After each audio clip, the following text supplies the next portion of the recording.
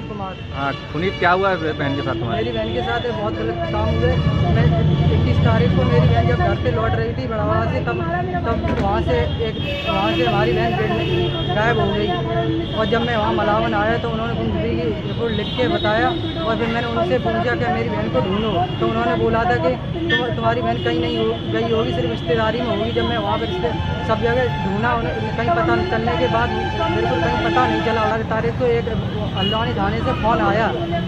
वहाँ से एसू साहब ने बताया कि आपकी बहन यहाँ पर है। जब हम वहाँ से अपनी बहन को बहन को लेने बहन बहन से बात हुई। बहन से बात होने के बाद मैंने अपने गाँव के प्रधान जी को बताया, फिर उनको मलावन गए। मलावन से फिर वहाँ पे जाने के बाद वहाँ से उन्होंने चौकी इंचार्ज उदयवीर सिंह को भेजा। फिर वहाँ उदयवीर सिंह को लेकर हम हल्द्वानी थाने पहुँचे। थाने से लेकर आए। जब अपनी बहन को तब घर पे आने के बाद उससे सारा कुछ पूछा। हाँ फिर मेरी जब मैंने अपनी बहन को पूछा तो मेरी बहन ने सारा, चार लड़कों के नाम बताए। एक पहला नाम नीरज है, राहुल चौ, राहुल चौधरी और उसका बहन हुई राकेश शर्मा उसकी बहन रचना जिन्होंने तो पुलिस ने मुकदमा दर्ज नहीं किया क्या? भगा दिया थाने मैंने मुक- मैं जब थाने गया था मेरा कोई मुकदमा दर्ज नहीं हुआ और पुलिस वहाँ के बाद मलावन इंचार्ज उन्होंने मुझे धमकाया और गाली दी।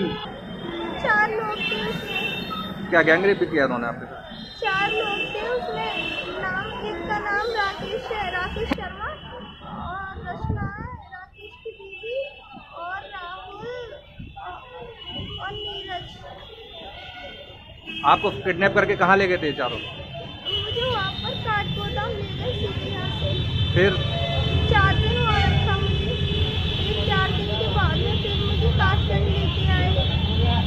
काशगंज लेने के बाद में मेरे साथ सारे सारे लोगों ने गलत काम किया। फिर उनमें भाई भाई में झगड़ा होने लगा। फिर मुझे राहुल गुस्से हो गया। फिर मुझे फिर ले गए मुझे सीधे काट गोदाम। एडिन लाल एक नाबालिग लड़की के साथ गैंगरेप का एक मामला आया, जिसमें कहा है कि जो आरोपी है उसको किडनैपिंग करके ले गए, फिर उसके साथ जो है गैंगरेप किया गया करीब एक महीने तक। अभी तक मामला दर्ज नहीं हुआ है, पूरा क्या मामला है इसमें? मलावन थाना क्षेत्र का प्रकरण है, थाना क्षेत्र का प्रकरण है। एक नाबालिग बालिका है बताया जा रहा है कि इक्कीस जुलाई में चार लोगों ने अपहरण किया था ले जाके